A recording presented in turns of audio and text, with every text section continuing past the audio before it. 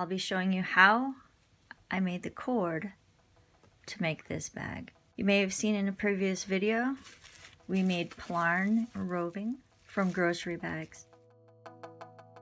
This bag is more like a basket. It's firm and a little bit more coarse because of the twist. So let's make Plarn twine or Plarn cord.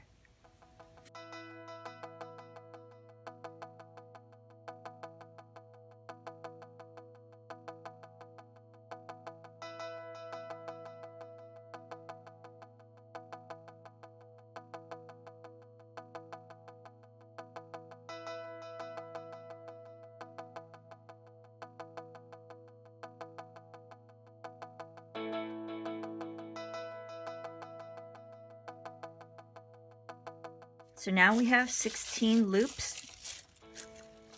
Instead of joining them together the way we did for when we made the Plarn roving, I'm going to do it a little bit differently.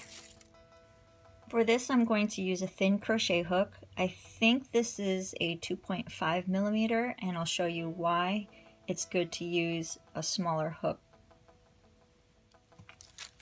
So I take a loop I insert the crochet hook into one end and I insert the butt of the crochet hook into the other end and I anchor the midpoint.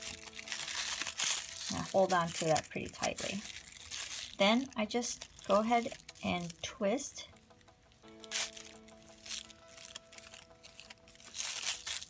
and I'm twisting clockwise.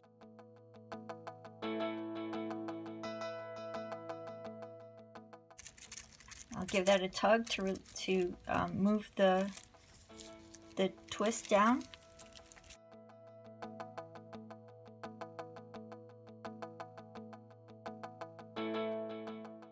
Keep twisting until it feels like it's about to kink. Then I'm going to turn this around. Still holding on to this midpoint here. I'm still anchored. And I'm going to twist the other side the same way twisting clockwise.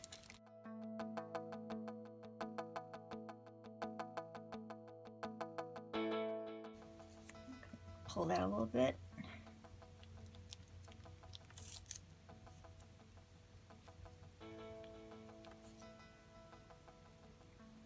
Okay, so now that it feels like it's about to kink, there's a little bit of kinking right there, just give it a tug. Now we can ply this together. I'm going to go in the opposite direction. So ply counterclockwise.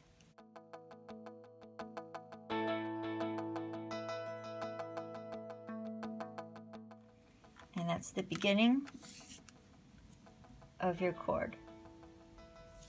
Now to attach a new loop, just grab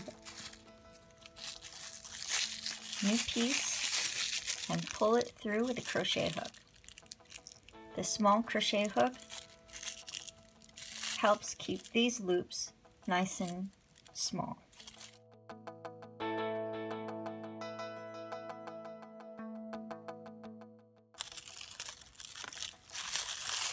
Now you're anchored right here and then go ahead and twist one side clockwise.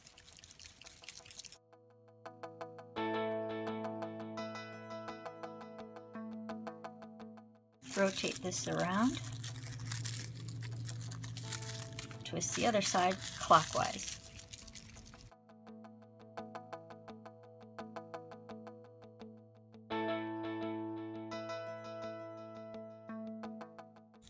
Till it's nice and tight. As you can see, it wants to twist on itself. That's exactly what's supposed to happen. You can always go back and retighten the other side if it feels loose. Okay. Ply counterclockwise.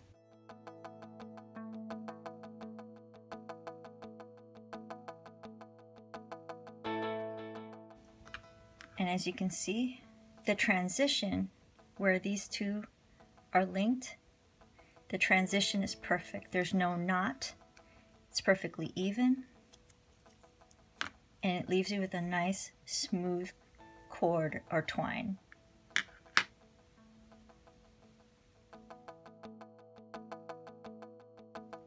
I'll do one more for you in real time. Should take about a minute.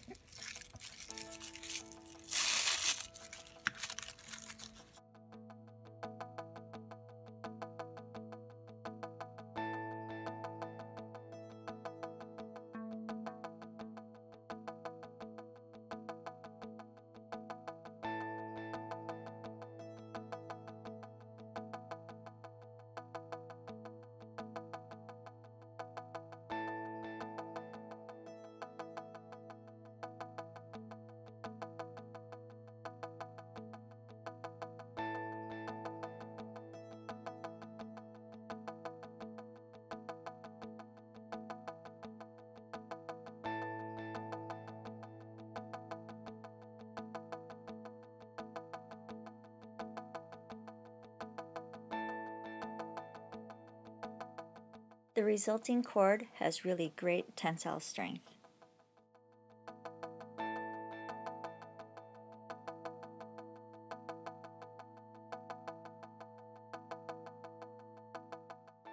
Crochet with it or even weave with it.